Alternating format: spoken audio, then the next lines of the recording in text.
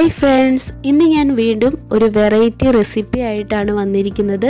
ഇന്ന് ഞാൻ ഉണ്ടാക്കാൻ പോകുന്നത് ഒരു ബീഫ് കട്ട്ലറ്റ് ആണ്. നമ്മളെല്ലാവരും തന്നെ വീട്ടിൽ കട്ട്ലറ്റ് ഉണ്ടാക്കി നോക്കാറുണ്ട്. പക്ഷേ അതിൽ നിന്നൊക്കെ വ്യത്യസ്തമായിട്ട് ഒരു വെറൈറ്റി ടേസ്റ്റിൽ എങ്ങനെയാണ് ഒരു കട്ട്ലറ്റ് ഉണ്ടാക്കി എടുക്കുന്നതെന്ന് നോക്കാം. അപ്പം മുട്ട സമയം കളയാതെ തന്നെ നമുക്ക് എങ്ങനെയാണ് ഈ വെറൈറ്റി ടേസ്റ്റിൽ ഒരു കട്ട്ലറ്റ് ഉണ്ടാക്കി എടുക്കുന്നതെന്ന് കാണാം.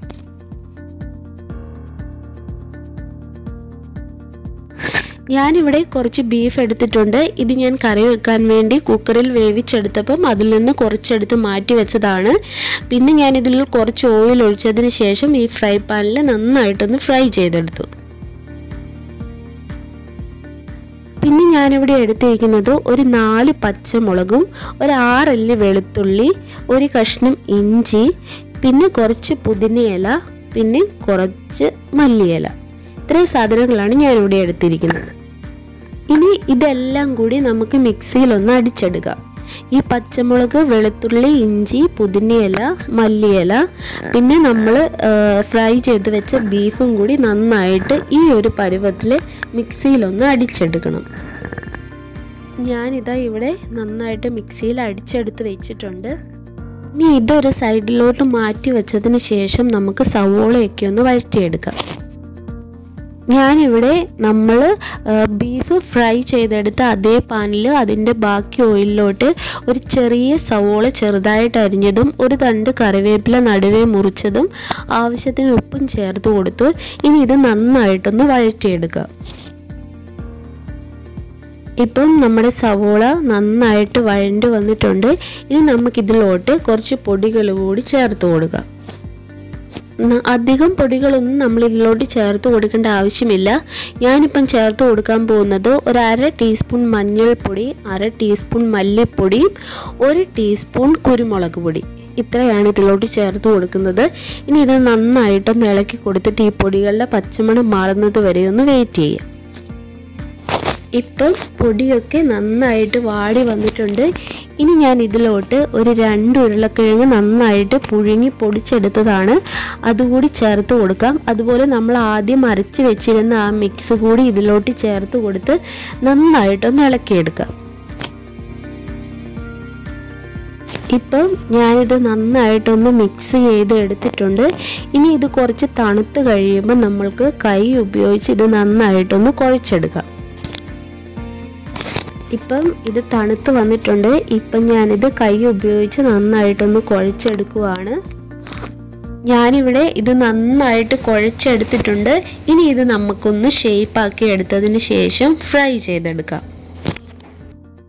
ഇത് ഫ്രൈ ചെയ്യുന്നതിനായിട്ട് ഞാനിവിടെ ഒരു ബൗളിലോട്ട് ഒരു മുട്ട എടുത്തിട്ടുണ്ട്. അതിലോട്ട് കുറച്ച് ഉണക്കമുളക് പൊടിച്ചതും കുറച്ച് ഒറീഗാനോയും ആവശ്യത്തിന് ഉപ്പും ചേർത്ത് കൊടുത്ത് നന്നായിട്ടൊന്ന് മിക്സ് ചെയ്തെടുക്കാം. ഇപ്പം ഞാനിത് നന്നായിട്ട് മിക്സ് ചെയ്തെടുത്തിട്ടുണ്ട്. ഇനി അടുത്തത് എന്താണെന്ന് നോക്കാം. ആദ്യം തന്നെ നമ്മൾ കുഴച്ചെടുത്ത് വെച്ച ആ മിക്സിൽ നിന്ന് കുറച്ചെടുത്ത് ആദ്യം ഉരുളയാക്കിയതിന് ശേഷം ഇതുപോലെ കയ്യിൽ വെച്ച് പരത്തി നമുക്ക് ഇഷ്ടമുള്ള ഷേപ്പ് ചെയ്തെടുക്കാം. ഞാനിപ്പം ഈ ഒരു ഷേപ്പിലാണ് ചെയ്തെടുക്കുന്നത്. ഇനി നമ്മൾ മിക്സ് ചെയ്ത് വെച്ചിരിക്കുന്ന ആ മുട്ടയുടെ മിക്സിൽ ഇത് നന്നായിട്ടൊന്ന് മുക്കിയെടുക്കാം. ഇപ്പം ഞാനിത് ഈ മുട്ടയുടെ മിക്സിൽ നന്നായിട്ട് മുക്കിയെടുത്തു. അതിനുശേഷം ഞാനിവിടെ കുറച്ച് ബ്രെഡ് ഇതുപോലെ പൊടിച്ച് വെച്ചിട്ടുണ്ട്. അതിലിട്ട് ഇതുപോലെ നന്നായിട്ടൊന്ന് കവർ ചെയ്തെടുക്കുക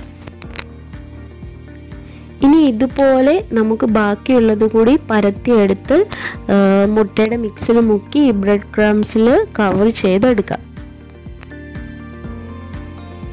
ഇപ്പം ഞാൻ എല്ലാ കട്ട്ലറ്റും എണ്ണയിലിട്ട് ഫ്രൈ ചെയ്യാനായിട്ട് റെഡിയാക്കി വെച്ചിട്ടുണ്ട്. അപ്പം നമുക്കിതൊന്ന് ഫ്രൈ ചെയ്തെടുക്കാം. ഇവിടെ പാനിൽ എണ്ണ നന്നായിട്ട് ചൂടായിട്ടുണ്ട്. ഇനി നമുക്ക് ഓരോന്നായിട്ട് ഇതിലോട്ടിട്ട് നന്നായിട്ടൊന്ന് ഫ്രൈ ചെയ്തെടുക്കാം. കട്ട്ലറ്റ് ഈ എണ്ണയിലോട്ട് ഇട്ട് കൊടുത്തതിന് ശേഷം നമ്മൾ ലോ ഫ്ലെയിമിൽ വെച്ച് വേണം ഇത് ഫ്രൈ ചെയ്തെടുക്കാൻ. അല്ലെങ്കിൽ ഇതിന്റെ പുറംഭാഗം പെട്ടെന്ന് കരിഞ്ഞു പോകും.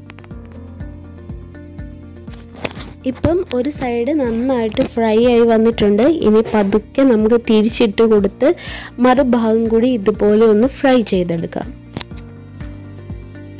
ഇപ്പം നമ്മുടെ ബീഫ് കട്ട്ലറ്റിന്റെ രണ്ട് സൈഡും നന്നായിട്ട് ഫ്രൈ ആയി വന്നിട്ടുണ്ട്. ഇനി ഇത് നമുക്ക് ഒരു സെർവിങ് പ്ലേറ്റിലോട്ട് മാറ്റാം.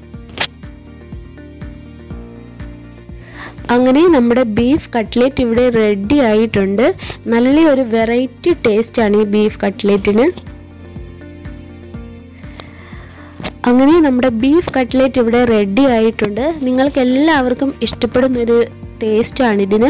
അപ്പം ഈ റെസിപ്പി നിങ്ങളെല്ലാവരും വീട്ടിലൊന്ന് ട്രൈ ചെയ്ത് നോക്കണം.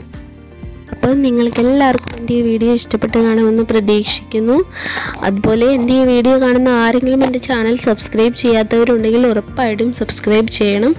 അതോടൊപ്പം തന്നെ അതിനടുത്തുള്ള ബെല്ലൈക്കണിൽ ഓൾ കൂടി ഒന്ന് സെലക്ട് ചെയ്തേക്കണേ. അപ്പം ഇനി വെറൈറ്റി ആയിട്ടുള്ള അടിപൊളി ഒരു ടേസ്റ്റി റെസിപ്പി ആയിട്ട് ഞാൻ ഉടനെ വരുന്നതാണ്. അപ്പം നമുക്കിനി അടുത്ത വീഡിയോയിൽ കാണാം.